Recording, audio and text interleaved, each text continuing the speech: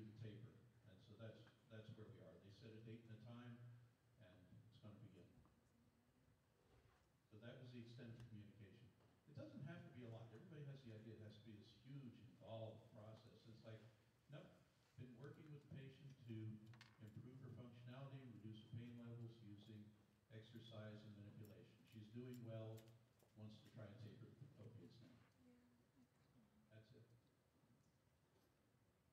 Any more questions? Way in the back. So we're seeing more evidence for anandamide receptor agonists um, that, uh, that modulate the nociceptor threshold. Uh, But by the way, none of us can hear you. So I know it's not my hearing aids. right? Can you hear me now? You need Verizon or something.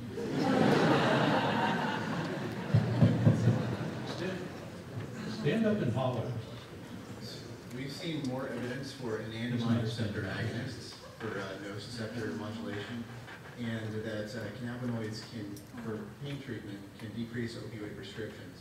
Uh, in, in states where this is uh, an option, there's as low as half of the prescriptions for opioids per person as there are here in Tennessee. And so I was wondering, what have leaders in the health community been doing here to push for legislation and legal activity, or legal available of uh, anandamide agonists cannabinoids to treat pain or at least to decrease opioid addictions? Let me comment on that a second. I know there's a lot that been said about medical marijuana, because that's exactly the case, you know, the, the field we're talking about. And right now, the literature does not support that viewpoint. Maybe the marijuana industry's literature supports that, but you have to think more. Supported by RCTs? Is it reproducible finding? Remember Mr. Temple's presentation there, that 1980 letter to the editor of the New England Journal of Medicine that suddenly became this landmark article? The pain medicine industry is still using that as justification for a lot of their recommendations. So I would say until the literature, really well-reviewed literature, supports medical marijuana, that's one of those things that is investigation. I don't know if anybody else has any other, From an experiential standpoint, I, I do not have any data or anything other than patients come through my office. Uh, marijuana tends to create a dissociative effect. So you're, you're here, but your pain's over here, so you don't feel it as much. You also don't feel anything else anymore either, um, except hungry. And the, hey, you know, I, I was a child of the 60s and 70s, and they say if you remember the 60s, you weren't really there. Uh, my memory picks up somewhere around 1975. The, yeah, the, the reality is you get the separate, separation effect, but it doesn't improve their functionality, it doesn't improve their pain control. They still hurt, they still use their opiates, they still, um, you know, they're, they're home not doing their exercise, you know, the whole thing. Their lives do not improve with the stuff, in my experience. Next. Can you hear me okay? More or less, yeah. Um, when you were tapering off um, your meds, were you, when you were experiencing the withdrawal, did you use OMT? Okay, the question was, when I was in withdrawal, was I using OMT? No, I was curled up under my desk. Um, was I being manipulated by people? Yes. And absolutely it helped. Absolutely it helped with the pain control, the mobility. Um, I, I was, uh, boy, for quite a while when I was living in Philadelphia, I was being treated once a week by Alex Nicholas up at the school. Uh, he was afraid to treat me. He had seen my x-rays, he'd seen my MRIs and go, you're, you're a mess. And it's like, yeah, I know, I won't see you, just treat me. Um, and he did, he was kind enough to do that. He's a good guy. Uh, so was I being treated? Yes. Did it help ameliorate the withdrawal effects when I was going through them? No, not a bit. Did it help with pain control, mobility, and stiffness? Yes, absolutely.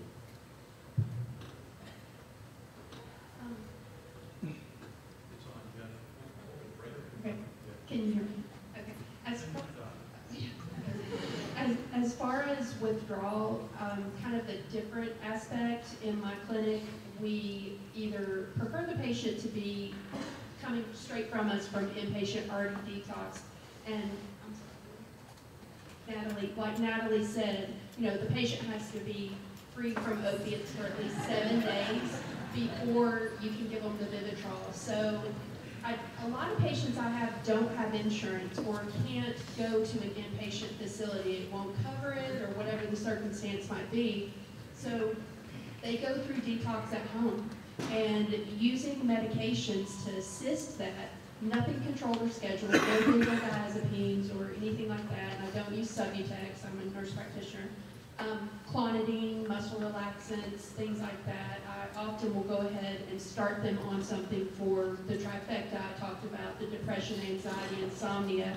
And um, we successfully detox patients with a good support system at their home with those medications, IV heroin users, be it, you know, Roxy's, oxycodones, whatever, and successfully do that. It's mainly symptom management. If they can get through that day three through five or six, they're usually okay. And you had spoke about the diarrhea. I tell them, you will birth the baby, then you're gonna have diarrhea, because often they're so constipated, once that passes, the diarrhea then comes at that point, so you just have to prepare them. It's a different aspect of it. You, you suddenly discover what empty feels like.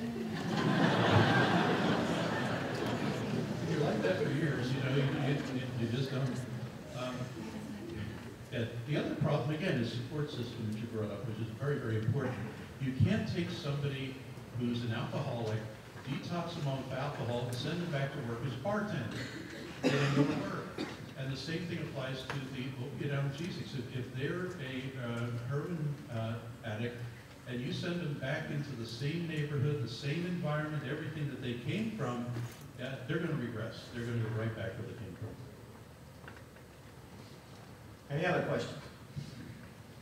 Sure. Uh, Yes, sir. Uh, I guess this is for all of you across the spectrum of care. Um, Considering we see a lot of mis, uh, or I guess irresponsible and misprescription of uh, what kind of legal repercussions are people across the care spectrum seeing on this crackdown with respect to the standards held to? Um, All over the news, you'll see, be it in our state or not, um, and I know a lot of you came here to go to school, it doesn't necessarily mean that you'll practice in the state of Tennessee. You know, you may be in Kentucky or Florida or wherever. They are prosecuting providers for overprescribing. They're holding them liable for people who accidentally overdose or overdose for whatever reason. Um, you know, I know there was a couple in Florida and then three physicians in New York who owned a clinic and they were prescribing pain medication, so it's pretty much a pain clinic, and sending their drug screens downstairs to their lab for confirmation, which is also illegal, they own the lab, and they're in prison. So you just really have to protect yourself and your license and really think about proper prescribing, what's best for that patient. Um, part of the problem that in my community, and I'm not speaking beyond that, is that there are a lot of ways to get around that. And so there are a lot of um, inappropriate prescribing um, providers out there. Um, and now the new fun, uh, fancy thing to do is to become a Suboxone. Because you still get partial time, right? And so um, you can open a clinic and call it a treatment facility, and, um, and patients may know, but a lot of times they don't. They think that they're under treatment and going to get better, and these places will open up. It's always a red flag when we don't bill insurance. Here, take my two hundred dollars, I'll write you for as many as you want, and then you have to go pay for the pill. Um, and it's considered treatment. Um, and a lot of patients will get stuck into that, um, and not even realize it. And I'm not being accusatory, but I've seen it in my patients. Someone who's addicted to uh, oxycodone and they go to one of these places to get help, and truly they're looking for help, and they walk out with a prescription for Suboxone and. They've never been on a benzo in their life, and now they're addicted to two medications. Um, and so that's the thing that they don't know, they're not told, um, and the problem is there are certain rules, like if you, just in my experience, you can be a, not at my clinic, but you can be a family medicine doctor, and you can get a waiver for Suboxone, and you can prescribe a, you get extensions and all, there's lots of paperwork involved, but two hundred and forty-five patients, you can have two hundred and forty-five patients that you are treating, because you're not a pain clinic, you're a treatment facility with Suboxone. Two hundred dollars a visit every week. That's a lot of cash, people, and there is nothing illegal about it. And so it's difficult, because if they stay within those guidelines, they're still, the treatment practices are poor, and they're not doing it to help anyone. Um, but they, how do you prosecute that? How do you prosecute that in the sense of they're staying within their numbers, but they're destroying a community? Uh, as a practitioner, I know a lot of people, especially if you don't have experience with it, you get a little scared. It's like, what am I gonna do? I take my license, all those years of training, get out of my residency, go and practice, and my God, I wrote a prescription for OxyContin, the DEA is going to kill me. Uh, the reality is if you're using these medications appropriately, if your record keeping is appropriate, you have nothing to fear from the DEA. Um, I've been investigated by the DEA. They're interested in one thing only, and that's drug diversion. Why did they investigate me? Because for a period of about three months, it seemed like every patient I got was a chronic pain patient on OxyContin, and I was trying to taper them, but that meant I had to write prescriptions for it. So all of a sudden, my prescription writing went way up, and it set off some alarm bells. And so two agents show up my office, flash their badges, say, shut down, doctor, you're under investigation. And you say, I got a patient, no, you're shut down immediately. So they're not nice about it. Then they start reviewing charts. They spent the day reviewing charts and said, you're doing everything right, but your record keeping is deficient here, here, here. Improve your record keeping and uh, we'll stay in touch. That's the last I ever heard. So again, if you're doing things properly, you don't even have to fear an investigation from these folks. They're looking for diversion. They're looking for diversion. The other, uh, one other thing came up, we were listening this morning to, um, how do doctors get hooked into this stuff anyway? What kind of idiot put all this effort into becoming physician and then you start selling drugs? You know, what kind of idiot do you have to be to do that? And the reality is sometimes it is the doc themselves has a substance problem. Uh, more often, in my experience, it's financial. All right? The, uh, the doc, uh, we had, one of my classmates is now in witness protection because he uh, got into financial trouble in his office, so he got together with a shyster lawyer and said, okay, by the way, my wife's a lawyer, so they're not all shysters, but he got together with a shyster lawyer, and uh, they decided to phony up some motor vehicle accident cases, so it becomes insurance fraud at that point. Then he said, you know, I'm getting worried about this, I got my debts and my credit cards under control again here, I went out. And the lawyer said, nope, I've got all this documentation on what you've done. The lawyer started to blackmail blackmailing. So he decided to turn state's evidence, along with his physical therapist and a couple of the patients.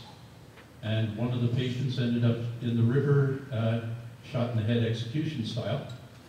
Um, the FBI said, we're pretty sure the lawyer is mobbed up, and you need to go to witness pr- protection. So he's probably flipping burgers somewhere in Oregon or something and will never practice as a physician again. Um, I had a colleague, again, up in Pennsylvania. Um, family was unhappy. You know, you get married and your spouse has the visions of the doctor's wife, the cocktail parties, the fancy car, the country club membership, and he went into pediatrics. One of the lower paying sorry, one of the lower paying specialties right now. She was very, very unhappy. She was making his life miserable, so he found a way to make more money. He started selling prescriptions. And guess what? And if you're convicted of that kind of stuff, you lose your license, you lose your license in every state. Odds are you will never have a license to practice again. might as well just flush your license down the toilet. But, yeah, oh, sometimes it's just simply financial. People get themselves up, you know, over their heads in financial debt, and rather than doing the right thing and just saying, I'm broke, it's time to declare bankruptcy, this will be seven years before I sort my life out, they try and find an easy way out, and sometimes selling drugs. You mentioned about what, uh, what's actually being done. Just to answer your question a little further, the state of Tennessee within the last two years has enacted pain clinic laws, which have really made it more difficult. Doesn't wipe them off, you know, the map, but they're held to a higher standard. Last year, the state of Tennessee passed Suboxone clinic laws. There are many states that are passing prescribing laws of various types. So Unfortunately, the legislators are taking care of this issue, which modern medicine would do it, but there are a lot of initiatives being done to try and curb overprescribing of various types. But like Dr. Aaron if you just said, you're doing the right thing for the patient, keep doing the right thing. I have a question and a comment about, about the DEA. uh, Operating services and payment centers back when I was not ashamed of it. The DEA, if you will request from the Knoxville or from will come in and educate your, all of our employees, what to do, what not to do, how to count, how not to count. If they don't come in and help you, if they also tell me that your DEA number, the DEA is on your student number, as long as, as well as your, your signature. It's all about, it's all about, DEA is what, and you said it right. As long as you do it once. But you ever had any experience with officers? Like I said, you know, they came in and, you know, out of suspicion, investigated, but, yeah, all they said is, nope, you're doing everything right, but your record keeping could be better. That was it.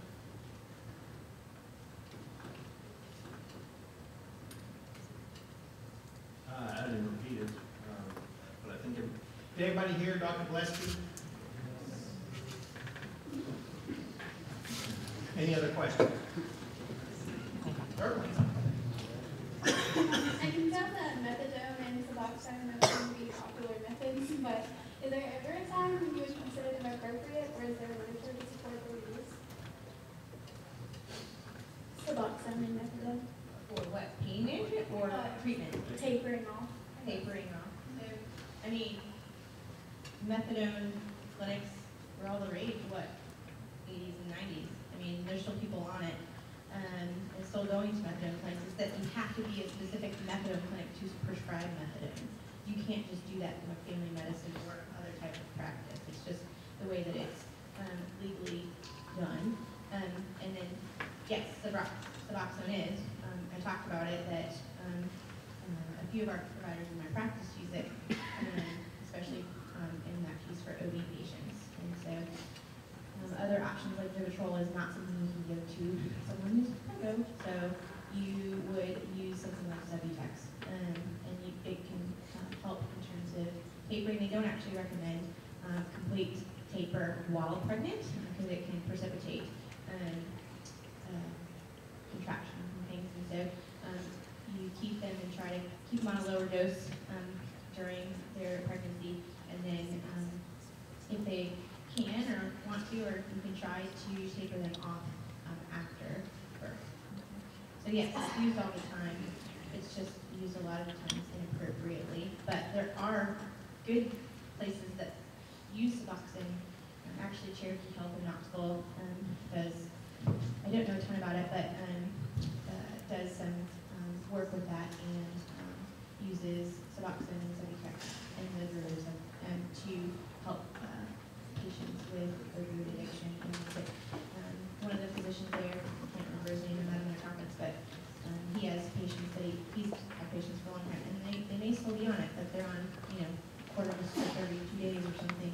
And they can't get off of that one, but they're doing well. And so, again, there's no appropriate or, you know what I mean? Like, there are inappropriate patient is different in terms of that. But yes, those are methods you can use as well, and they're not wrong methods, but they can be used wrongly, just like anything else. Just like pain medicine isn't bad, medicine isn't bad, but it can be used inappropriately. Um, so. So, using Suboxone, a lot of the places around my clinic will often take the patient in for a three-day, seven-day detox, and they use Suboxone or Subutex. And the patient, when they're released, they take their last dose.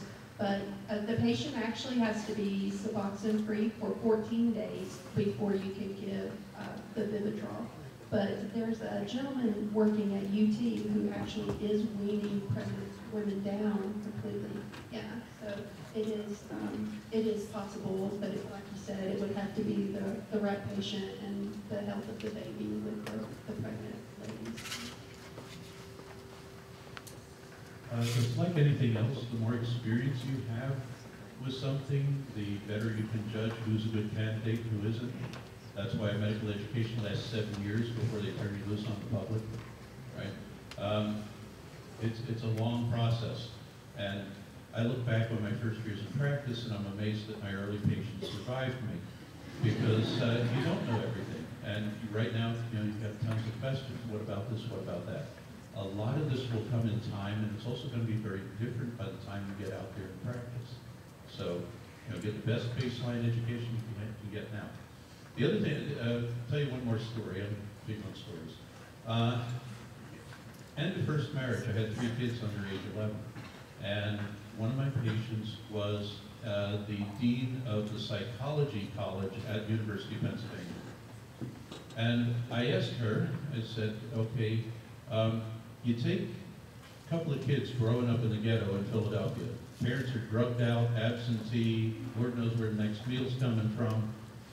One of them becomes the local drug dealer and dies in a gun battle. Another one becomes president of the United States. What's the difference? And her answer was one person that cares. One person. It can be an older sibling that protects them from a gang. It can be a neighbor that makes sure they get one good meal a day. It can be the guy at the corner bodega who gives them a safe place to do their homework. It only has to be one person that cares. You can be that one person. Okay? The biggest thing I heard this morning in all the sessions is, you gotta care. If you burn out, you can't care. And so, you know, what stops you from being angry? What stops you from rolling your eyes in disgust and all that? Because you don't understand it could be you. Uh, one of the biggest things, one of the most wonderful things that's happened to me is being a patient, is living through all of this stuff. Because I'm much less judgmental now than I was 20 years ago. You just gotta care. One last um, answer to your question. There is substantial literature for both methadone and buprenorphine. It decreases using rate, increases survivability. Methadone has been used since 1974, federal law enacted by Nixon, basically um, propagated by returning GIs from Vietnam on heroin. But there's substantial literature when done right. As they said, just anything, when done right. When done right, OxyContin, oxycodone, can be beneficial for a patient. So back to, you have to know your patients, and you have to be doing the responsible thing. Any other questions? Sure. Do any of you have experience using the bridge device or any other non-medication tools to help with withdraw- withdrawal?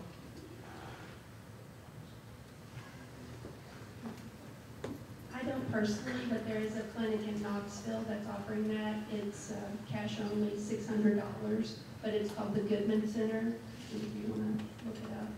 I don't personally have experience with that, but they're, they're having good success with it, from my understanding. Any other questions? I wanted to go back to a topic from about ten minutes ago. You guys were talking about you can't just release people back into their same circumstances.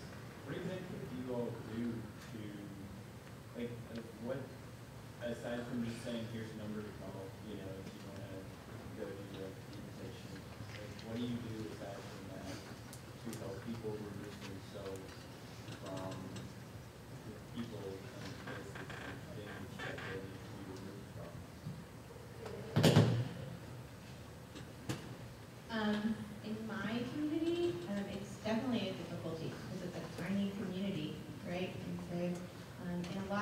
really difficult because it's rural Appalachia and nobody wants to leave where they grew up. Going to Knoxville is a big deal, right? And so, um, that's where, what I was talking about before, that we have care managers come in. And so they have really good relationships and they actually, a lot of times, um, walk the patient through that. They contact inpatient center, they get them a bed. I've had my care manager drive a patient to their inpatient facility in Cookeville. Okay? Um, and so like, I'm not saying that's the norm, but if the need arises, that's what we do. And so, um, we try to walk through that process, and the truth is, um, sometimes it can be good, sometimes it can be bad, but the patient really trusts our care managers, and we'll call them if they have a problem and need. Um, and so, if, if it's that they need inpatient therapy, we get them that. Now, that can sometimes be difficult, if there's not a bed available, there's not a bed available. That's the biggest problem, okay? The biggest problem is there are not enough facilities to house the amount of people, um, who have these issues and need inpatient treatment. Um, and so someone may be ready today, we can't get a bed for ten days. They're, they've gone past that sweet spot of, I'm ready to be clean, and that's the problem. Um, and sometimes you have to inpatient detox, and especially if they have benzos or alcohol, because that can be a big problem, right?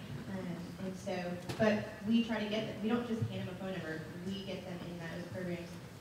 We get them there if we have to, um, and we have them have follow-up right away. And if that means then too, like you said, they need to be in a different environment.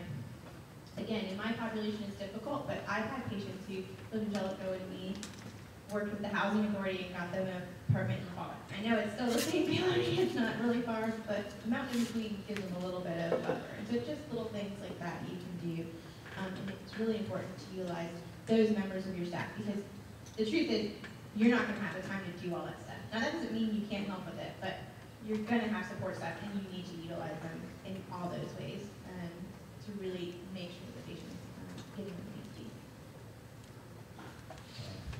Yeah, it, getting them help as quickly as you can is really, really critical. Um, in one case, I actually personally walked the patient to the emergency room, uh, who was in active withdrawal, who had stopped multiple medications and was in trouble. Um, they were terrified of getting into the system with the police and the fire department, so it wouldn't allow me to dial 911 and get them an ambulance ride. I said, okay, we'll get my car. No, I'm afraid of your car. Okay, will you walk with me? Okay, walk. So we walked to the ER, and uh, the poor man was just absolutely terrified of what was going to happen. And I knew the people in the ER, and I could go in and say, okay, hi, this is Bob, and Bob's got, uh, is having some withdrawal issues, so we need, you know, your team to take over here. And they did, and they did a wonderful job of it. So you do what you gotta do. Like I say, you, you be care. There, is there a risk in that? Yes, there's an inherent risk. Right? Put a patient in your car, what if you're in an accident? You're sued. You know, so there's always an inherent risk once you set foot out of your domain. But, you know, I, now, it, it, it leads to that whole discussion of how much risk do you take, and that's a personal decision. When I had three small children, depending on my income, I took very few risks. Okay, my youngest is 33 years old. Screw them, I'll take risks. if uh, they're launched, they're not, not my problem anymore. Uh, the, uh, the, reality is you, you let your own moral compass guide you. Okay, the law can't decide all these things for you, and you, you can't let yourself be driven by. Before we go on to the next question, is there any social workers here? Any social workers stayed with us? In the hospital, social workers are your best friend, okay? They will help. Once that patient's brought to the emergency room, one of the things I'm doing is finding a social worker and telling the social worker, we need to do something for this patient. And I've been amazed over the years how well social workers can move mountains to get patients somewhere once they're in the hospital. So that's, that's a val, a valuable tool that you will have. And if you're in a big enough practice, if I was in a big enough practice, uh, you know, private practice of some type, I'd certainly hire a social worker to help with that. And that's what our managers are, we call them that because we don't want to stigmatize it as a social worker, because some patients don't want that, because then they think they're gonna get their kids taken away. So that's why we say. I'm sorry. Any other questions? Well, at this point in time, Dr. Lloyd is unable to come. He is actually stuck in federal court. So we're actually going to end at this point in time.